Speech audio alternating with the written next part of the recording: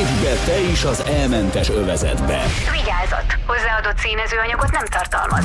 Örülök, hogy találkozunk újra. Látlak benneteket. Mi is látunk, Gábor. Tavalyi karácsonyi ajándék a pulóver, ami rajtad van, vagy még gyerekkorodban. Nagyon szeretem. Egy ilyen, már csak egy ilyen kis rénszarvas hiányzik róla, hogy gyújtsunk be a kandallóba, és adjuk át a karácsonyi ajándékot. Nagyon Egyébként helyes azt hiszem tényleg van. tavaly karácsonyi. Ráhib, ráhibáztál. Igen. Nem zoknit Nagyon, kaptam, nagyon, hanem nagyon nagy pulcsit. Igen. Pulcsi, tipikus, a színösszeállítás, minden tényleg jó. Nagyon Nagyon, kedvesek jó. Mi a helyzet otthon? Hogy Köszönöm vagy? szépen. Mi van veled? Képzeljétek el, hogy Pestlőrincről szólt a hetem, mert a nagykönyvtárban voltam előadni, és Balázs, ezt korábban azt hiszem mondtam is neked, hogy, hogy én Pestlőrincen nőttem föl. Ezt üzenem Janinak is, Igen. hogy én a Havanna lakótelepen nőttem föl, ott töltöttem az életem első 20 esztendejét, úgyhogy elég sokan vagyunk így lőrinciek, tehát szerintem a Janit Figyelj, ha már ha bátoríthatjuk. van a lakótelep, áruld már el, hogy tényleg tartanak lovat a hetediken, meg vágnak diszkót, mert vannak ezek, a, ezek, a, ezek az urbán legendek, ugye, és többek között ez is kö, kö, közte van. Igen, a disznóvágás, földcipe, pörzsölés. És, Nem és volt a ilyen? hetediken lótartás, hát ezek ilyen nagy-nagy-nagy történetek, akik budapestiek ismerik ezeket. Láttál ilyet? Nem, nem, ilyet nem láttam, nem láttam. Vannak érdekességek az erkélyen, tehát tartanak különböző dolgokat, de állattartás nem folyik. Én egyébként, Ti lenne ilyen zabot kis... neveltetek? Tessék? Tehát za- zab ültetvények volt ilyen kis balkonládában? Hát én, hogyha ilyen helyen laknék, én biztos, hogy stevia növényt ö, tartanik, és búzafüvet termelnék az erkélyen. Egyébként van egy kedves család, egy kedves barátom, akik ezt teszik, és időnként azt vágják, és azt fogyasztják. Búzafüvet termelnek az erkélyen. Ilyen van. Disznóvágás Nagyon az okos, okos. Disznóvágásról nem jobb, ez ember ilyeneket hall. Hát akkor már ha vannai vagy, vagy onnan jöttél, vagy ott nőttél föl, akkor megkérdezem. Jó Igen. van, egyébként mi van otthon? Köszönöm szépen, elég, eh, elég hűvös, csapadékos az, az időjárás, hatalmas a forgalom, és eh, hát igazából nagy változás nincs, és eh, gondolunk azért őszinte tisztelettel rátok is. Hallom, hogy ott sincs különlegesen jó idő, ugye? Nincs, nincs, nincs. A fene vigyelj, De Afrikában azt hittem, hogy idő 40 volt, fok van. Mi is. Kicsit azért jöttünk ide. Tudod, ez volt a terv, hogy amíg ott nálatok esik otthon, addig mi ülünk a 40 Igen. fokban. A múlt hét egyébként ilyen volt, ez a hét ez ilyen szögymörgős, 10 fokos. Nem, rossz, de nem, És az is igaz, jó. hogy éjszaka nagyon tűnik túl lehűl? Hogy nagyon hőkülönbség? Éjszaka nagyon lehűl, hihetetlen hőkülönbségek vannak. Ha reggel kisüt a nap vagy napközben, akkor tud 30-35 fok is lenni. Ez egyébként meg semmit nem jelent, mert hogy közben éjszaka beesik a hőmérséklet, mi egy völgyben vagyunk, ott ilyen 8-10 fok, 12 fok tud éjszaka lenni, látszik a leheleted, és mindenki nagy kabátban járkál éjszaka. Hát ez nem. Úgyhogy ilyen 15-20 fokok simán ingadoznak egyébként. Érdekes, érdekes világ.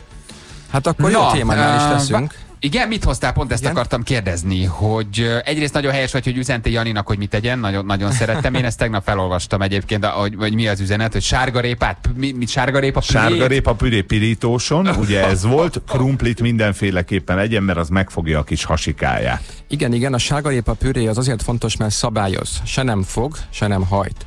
A krumpli ugye enyhén fog. Aha. A sárgarépa püré ezzel a krumplival ez egy nagyon fontos tanács. A pirítós pedig azért kell, mert csak az termeltet olyan nyálat a Janinál, ami segít a, a bélflóra helyreállításban.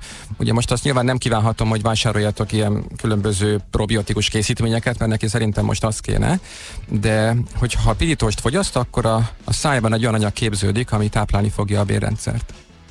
De ez csak, Ez a pirítós csak a pirítós, a kétszer sültnél.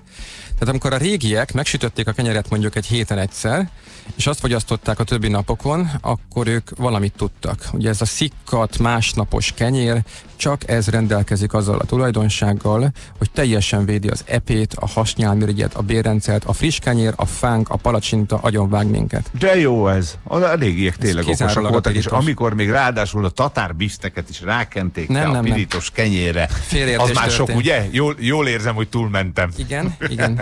Tehát sárgarépa püré, krumpli és pirítós, illetve kétszer sült. Ez a Atya indikációm most. Én most egy picit másra gondolok, mármint, hogy más, más, van a, más van a fejemben. Na, mivel készültél, Gábor? Mi a, mi a mai témánk? Két dologban lehetne beszélgetnünk. Az egyik az, hogy, hogy a mikrohullámú sütőről mi a véleményünk. Megoszlanak a vélemények, er, erről szeretnék néhány dolgot elmondani.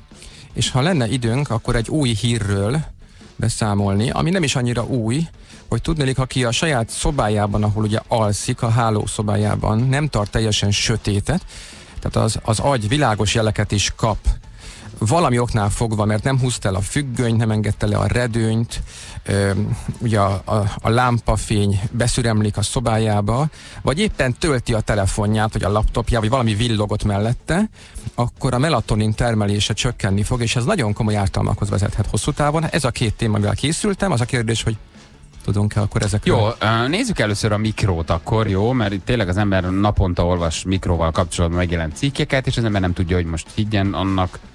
A szakma azt mondja, hogy a mikrohullámú sütő használható, de nézzétek meg, hogy igazán sok reklám nincs a mikrohullámú sütővel kapcsolatban. Vannak Ez szkeptikusok. milyen érdekes?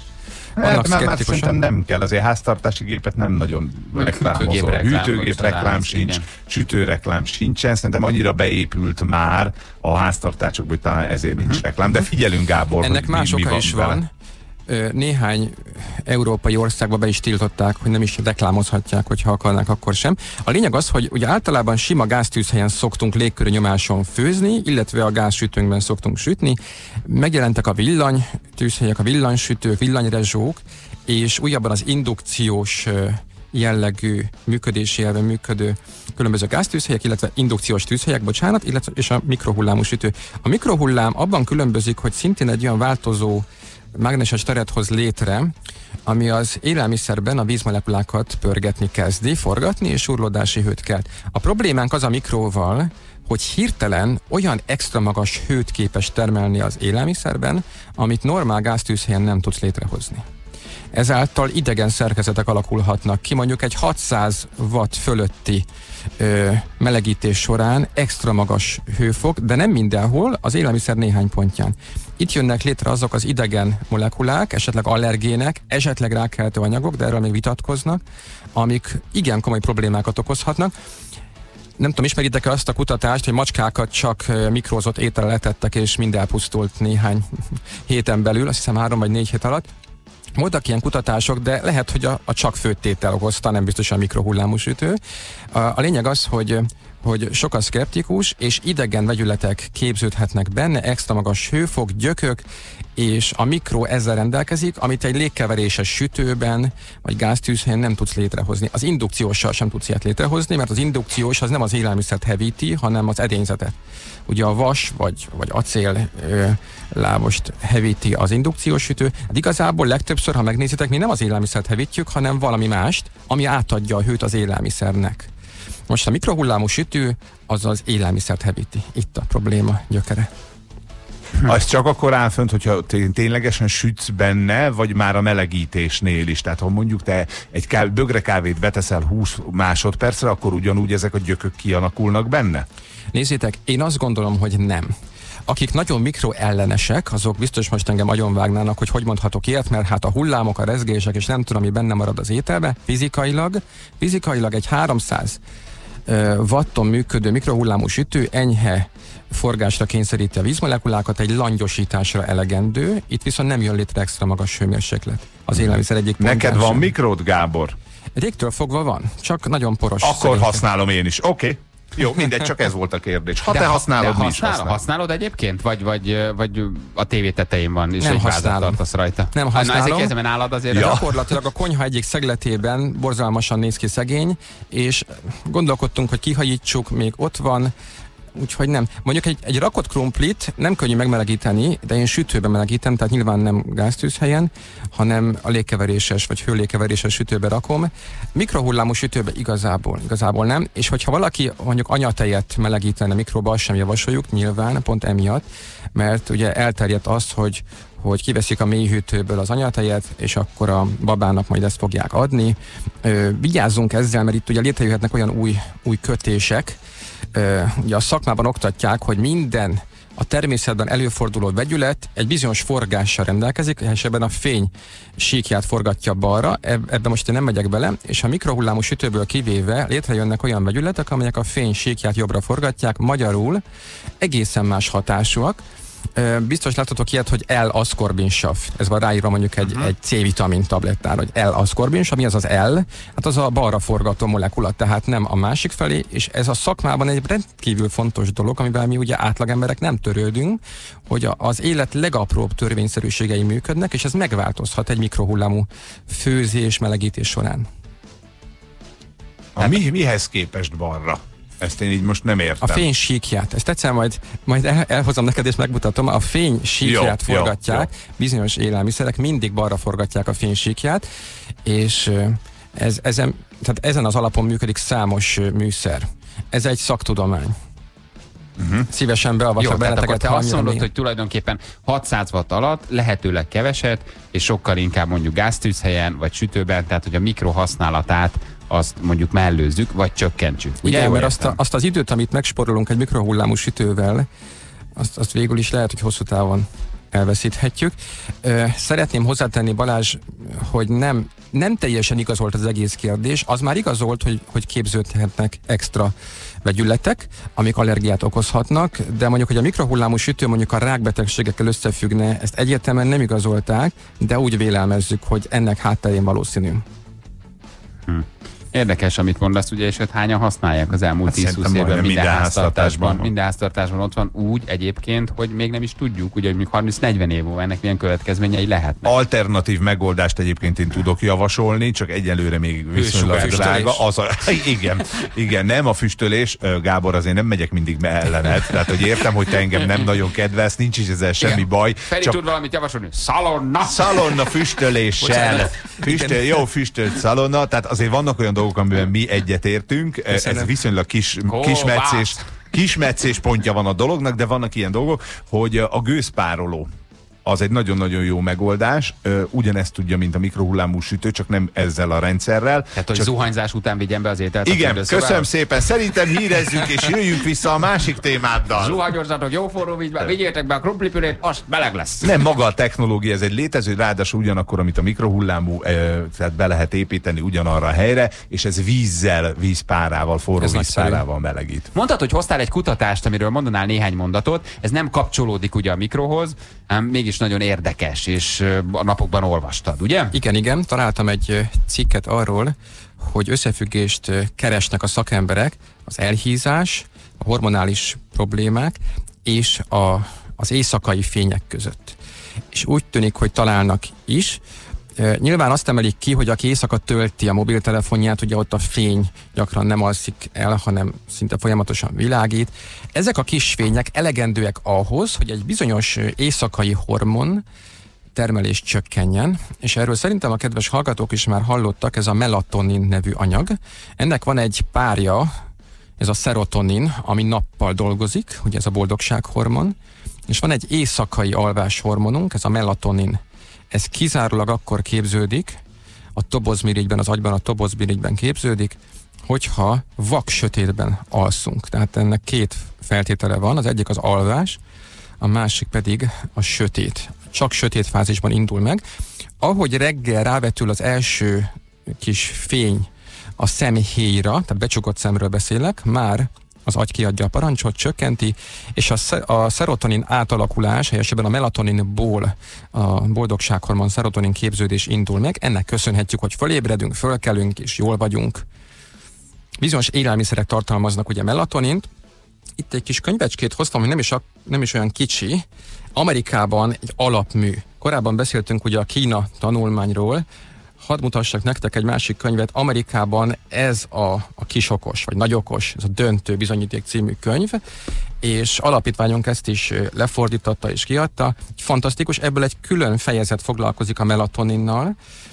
Máskülönben a, azoknak az embereknek, akik sokat utaznak repülőgépen, vagy időeltolódás miatt szenvednek, azoknak ajánlották korábban sokáig, sőt külföldön pláne a melatonin szedést ebben az időszakban, mert abszolút megszűnik a, az álmatlanság, és a szervezet hamar kiheveri ezt az időeltolódás miatti problémát. De ha jól értem, akkor nálatok nincs eltolódás lényegében, ugye? Tehát Nem, Ugyanaz ugyanott vagyunk. Ma, Ugyanaz. Fogtok majd órát állítani, ugye október végén, és akkor egy óra lesz a különbség. Dél-Afrikában jó Akkor inkább Milyen a étel termeli?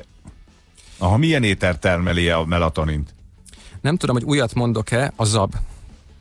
A zab legmagasabb. Hát a minden jele a jó, zab, gyerek. a leg, jó, tehát itt a könyvben az első helyen áll a zab. Utána jön a barna rizs, utána a kukorica, gyömbér, paradicsom, banán és az árpa. Tehát árhagyjon. Tehát ezeket például a téli hónapok alatt is érdemes azoknak enni, ugye jönnek a hosszú Igen. éjszakák, jönnek a sötét délutánok, a sokáig tartó ö, sötét részek, vagy hát tulajdonképpen napszakok, ugye, amikor kevesebb fényt kapunk, vagy természetes fényt. Így van. Tehát ha ezeknek a fogyasztását emeljük, akkor ezek az úgynevezett boldogsághormonok nagyobb mennyiségben termelődnek a szervezetben? Igen, igen. Ö, illetve maga a melatonin, ugye abból lesz majd nappal a boldogsághormon. Emlékeztek, hogy van ez a cukros tej kérdés, hogy este mézes tejet adni a gyereknek, ugye a tejben rengeteg a triptofán, és a triptofán is szerepet játszik a melatonin képzésben, csak az a baj, hogy a tehéntej az bealszik a gyomorban, és gátolja a mélyalvási fázist, ezért sajnos ez a, ez a cukros mézes tej kérdés ez nem annyira vált be, aztán vannak olyan tényezők, amelyek csökkentik az éjszakai melatonin termelést.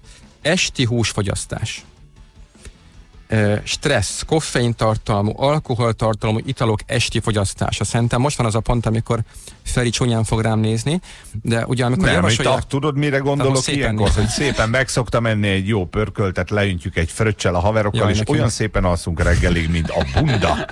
A bunda. És cukrozott tejet soha nem iszunk például. Tehát veled vagyunk, Gábor, nem iszunk cukrozott figyelj, tejet. jó, az a helyzet, hogy Azt simán Milyen alszol, milyen alszol, mert az idegrendszer miatt, de melatonin termelésed éjfél körüli fázisban nincs.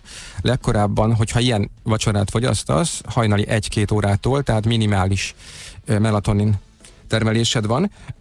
Azt szokta javasolni a szakember, ebben a könyvben is azt javasolják, hogy hagyjuk ki a vacsorát, vagy könnyű zöldséglével, ö, párolt zöldséggel fejezzük be a napot, ilyenkor a melatonin termelés extra magas lesz, Például, aki nagyon fáradtan ér haza, és érzi, hogy nincs sok boldogsághormonja, az, tehát nem az volna a megoldás, hogy jól bevacsorázunk, hanem az ellenkezője, mert akkor az a szervezet nem emészteni fog, hanem beindítja az éjszakai sötét fázist. Tök jó. Tehát ö, volt egy szarnapod, még ne is egyél a végén. Értem. Te tulajdonképpen De értelek. ehetsz könnyű zöldséget pirítóssal, Meg zabot. Pici sörélesztőpenyhet azért javasolok este, mert B6 vitamin van benne, és nagyon magas a B1, B6 tartalma, ami megint szerepet játszik. Nyilván tudom, hogy ez irreális, amiket mondok, mert ugye este az emberek szeretnek jókat enni, de nézzetek, a szakma, a szakma, tehát itt a szakkönyvek egytől egyig azt írják, hogy az esti stresszek, traumák, például valaki megnéz egy, egy krimit, utána tuti, hogy két órán belül nincs melatonin termelése. Utána iszik valami alkoholosat, eszik valami füstöltet, és vége, blokkol. És nem csoda, hogy Magyarországot alapvetően egy depressziós, deprimált népnek tartják. Nem biztos, hogy nyilván mindannyian, tehát van kivétel, de, de azért itt vannak összefüggések. Érdekes, amiket mondasz egyébként, csak hát működnek az emberben reflexek, hogy például, ha rossz kedvű, hogy enni jó, nem? Vagy nassolni. Az boldogságot. nassolni De én is szeretek enni. boldogságot. Aztán nyilván Hát, ö, Nem, te fogyasztasz, Gábor, azért, azért bocsánat, tehát ezt hadd jegyezzem meg, te mindig fogyasztasz. Én eszem, te fogyasztasz. Igen, azért nálatok mi a Ferivel egy grillparti rohadt magányosak lennénk. Az biztos, hogy itt nem, mondtam, Feri, hoztál valamit, vegyél már valamit elő a csomagtartóból, mert ezek olyan fura dolgokat tesznek, te a Nem, pirított ez tévedés. nem hozzá már egy szál lángolt kolbát. Nem, nem, mert a padlizsán és a kápia paprika ott van. Te, Nagyon te, jó. Te, te, te, te, te, Hedonista. Te, tehát ilyen hihetetlen, hihetetlen, amit csinálsz. Közben nyilván baromi jó, csak az ember Zöld fűszerrel. egója, meg egyáltalán, szóval, hogy minden, amit kívánunk, az sokszor azért szembe megy ezzel, amit közben valójában a testünk kíván. Persze, tudom, némi kis paprika zöld fűszerrel Persze, és némi kis pirított. Balázs Balázs viszont... viszont- hát a hajunkat eldobnánk. Ha szabad Nálatok, említenem? Ugye mindig a rengeteg levelet kapok, hogy a kedves hallgatók hiányolják, hogy hol van, nem tudom, rendezvény, főző, tanfolyam, nem tudom mi. És az alapítványunk részt vesz ugye rendezvény szervezésben, non-profit jelleggel természetesen, és ha esetleg valaki, ha szabad, kaptam engedélyt, hogy ezt bemondhassam, hogy vasárnap, most vasárnap, 19-én a Kőbányai Kulturális Központban lesz egy hatalmas egészségnapunk, és ha hiszitek, hanem zöld turmix és nyers ételes fesztiválra egybekötve.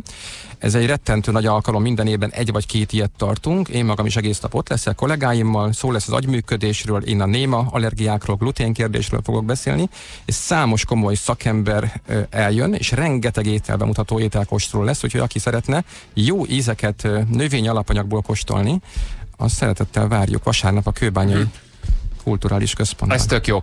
Figyelj, Gábor, az esti, esti szex az segít például? Se főborít minden. Ne. Lehet ilyet van csinálni, vagy, összefüggés vagy, a vagy, vagy melatonin- sátántól? Erre, Van, nem, nem, van összefüggés. A melatonin termelést segíti az ilyen. ilyesmi. Aha. Tehát nem vacsorázol és szexelsz, akkor alszol reggelig, mint a bunda, és másnap boldog leszel. Igen. Na de e, ugye a, a szexuális élet az a... Jaj, de szeretlek ilyen. Igen, igen. Mondja, A mondja. szexuális élet az, a, az egyéb hormonokat is termelte, tehát az túl a melatonin kérdésen ö, alapvetően részt vesz más, más ö, működésekben is. Egy nyugtató stresszoldó hatása van az egészséges szexuális életnek, tehát nyilván ez nem, nem tabu téma. Ö, De azért egy jó banános vacsora, vagy egy jó görög saláta sem akármi. Hát nem érzem felcserélhetőnek a kettőt. A, Igen. a banános Nyilván nem- vacsorát, a szexel, de értünk. Nyilván nem alternatívaként mondtam, csak visszatérve a témámhoz. Jó, jó, meg örülök. De fontos, amiket mondasz, persze, meg hát az ember próbálja ezt megfogadni, csak közben olyan nehéz. Hát amikor egy este tízkor hazajössz, és így betérdelsz a hűtő elé, és még valami impulzusra vágysz, legkevésbé egy piritot, vagy nem tudom, párolt sárgarépa pürét ennél. Szóval, hogy Igen, az csak ember közben nézzétek, nem így a, működik. ott De van ez a csokoládé kérdés, ugye a csokoládéban például 40-45% a cukor, a, a tömegcsokiban pedig 55-60% a hozzáadott porcukor. Na most az a baj, hogy sokan a csokit azért eszik, ugye mert hogy szerotonin emelő, meg segíteni fogja, nem tudom, a boldogságérzést és az alvást. Az a baj, hogy le fog esni a vércukorszintünk rettentően, ugye a sok cukor miatt, az inzulin reakció miatt, és végül nem, hogy jobban érezzük magunkat, hanem csökkenni fog a, a szerotonin és később melatonin termelés. Esti csokoládé fogyasztás hatására végül éjszaka le fog csökkenni a melatonin termelés. Ezért mondom, hogy inkább a lassú vércukorszint emelőket. Néhány szem dió. Nem véletlenül mondtam múltkor a mézes sült diót. Fantasztikus volt. És, és egyébként érezhető omega-3, kalcium, B6 vitamin, ez például este néhány szem ilyen mézes sült dió, vagy csak sima dió segíti az alvást. Nem kell sokat. Nézd, azért én, én, én, én tökre értem, amit mondasz, meg tudod, hogy a legnagyobb támogatód vagyok, de mondjuk este nyolckor haza, meg egy forgatás, és a Viki letenne elém három szem diót, valószínű, hogy átgázolnék az ablakon, és, és elfutnék, és kifutnék a kerületből. Tehát De eleve Balázs- éhesen, például lefeküdni baromi nehéz. Nem tudok elaludni. de Ingerült hogyha- vagyok, forgolódom, Ha a dió Igen. mellé tesz egy brokkoli pörköltet barna rizssel, azért az nem semmi. akkor Hogy elválok. a fenében? Akkor tudod, mi csak elválok. Akkor itt a vége mindennek. Akkor mondja, nagyon édes vagy ezzel a pirított dióval, nem tudom, hol írjam alá. Igen, és a gyereket nagy szemekkel ránéz, apa veled mehetek. Nagyon jó, igen, de most alá akarom írni a vállót, mert nem vagyok hajlandó éhesen De akkor mit adjunk mellé? diót tenni. Akkor ti mit tennétek vacsorára? Akkor ti mit tennétek vacsorára? Én egyébként, egyébként fura módon közben hűlök, mert hogy én azért nem hízom többek között, és mindenki kérdezi, hogy miért nem, én hat után például egyáltalán nem eszem, mert nem is vagyok nagyon éhes. Csak tudom, hogy az átlagember úgy működik sajnos, ami nyilván nem jó, hogy egész nap nem eszel, hazaérkezel éhesen, és akkor próbálod bepótolni az elveszett kalóriákat, betérdel az ember a hűtő elé, nem hogy éhesen fekszik le, hanem hülyére zabálja magát, amit tökéletesen igazad van, hogy nem jó. Csak közben mondjuk, ha az ember este éhes és kicsit visszafogni és éhesen lefeküdni, vagy kevés kajával, nehezebb. És szerintem. nem ez jut az Tehát, eszébe, hogy nem répapüré. De közben nagyon jó, nagyon jó, amit, am- amit mondasz, csak nyilván ezrek akarnak Az a megölni. baj, hogy ha este nagyon éhes vagy, akkor valamit elrontottál napközben. Tehát azt meg lehet szokni. Nagyon sokan naponta kétszer-háromszor esznek, és nem éreznek éjségérzetet este. Egyébként egy pohár víz teljesen elmulasztja, mert az esti éjséget egy kevés gyomorsav okozza a gyomorban, azt egy, egy pohár víz teljesen kiviszi onnan, és megszűnik. Éjszaka fekszünk, tehát nincs szükségünk 500-600 meg, meg 1000 kalóriára éjszakára, az mind lerakódik. Viszont, és ugyanakkor még a melatoninunk sem termelik, tehát minden szempontból veszítünk. Viszont egy jót reggelizünk. Langyos víz lehet, Gábor? Langyos Langyos víz? víz lehet?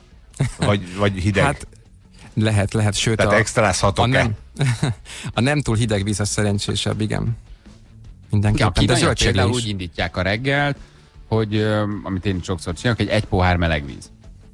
Figyelj, nem hiszed el, hogy mennyire jó. Én azzal bolondítom meg, hogy egy pici citrom bele, ettől már olyan íze, mint a tejnek, egy pohár forró víz citrommal. Nem kell bele se cukor. Forró. Hát úgy, hogy meg tud meg inni, tud nyilván nem úgy, hogy leforrázod. És mit csinál? És akkor jól Képzeld vagy? el, nem, nem, nem vagy jól, nagyon fura elsőre, mert ugye a magyar ember valamit beletesz, cukrot, teafiltert, valami. Ha megszokott, hogy forró vizet iszol citrommal, és most kicsit én is akkor felkerülök a keresztre eh, Gábor mellé.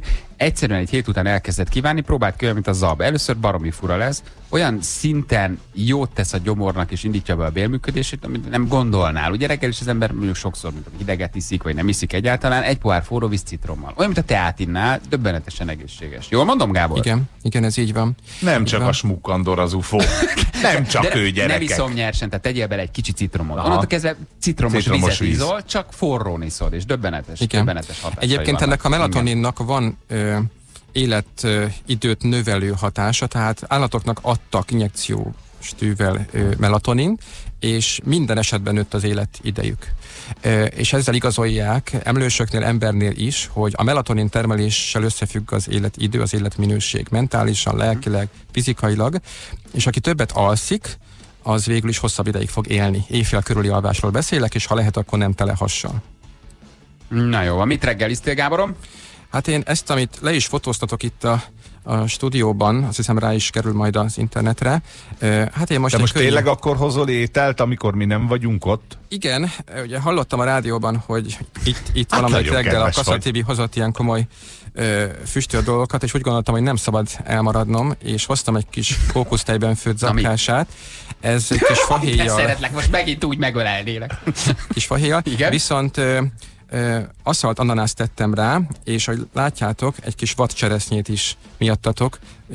Ez fantasztikus, ezt egyszer meg kéne kóstoljátok ezt a vadcseresznyét, aszalt vadcseresznye, fantasztikus íze van esetleg nem, most nem tudom Ez oda tartja a kamera. Jaj, de aranyos A, a kamera fölül van, Gábor, csak mondom, Igen. fönt. Oda tartott a klaviatúrához a kamerát, hogy semmit nem látunk belőle, nem fönt, és ránézett a mennyezetre, de szeretlek, Gábor. Hol, hol a, a, laptopon fönt, tehát a, jó? a laptopon fönt, nem a mennyezetem, hanem a laptopon. Igen? A lényeg, jó. De kicsit emeld meg, emeld Igen? meg egy kicsit, Gábor, és akkor látjuk. Az Így van. De szép étel. Nagyon jó vagy. Igen.